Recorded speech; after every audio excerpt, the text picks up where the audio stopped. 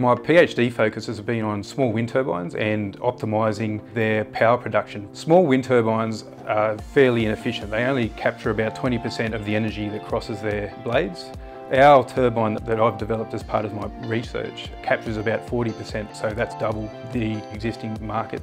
The thing that makes me most proud of what I've achieved with my PhD is the potential to actually make a positive change on the world. The old way of doing things in terms of energy production is having some significant impacts on our environment and we need to discover new ways of making our energy work for us and work for the environment and that's something that I want to do for my children and for future generations.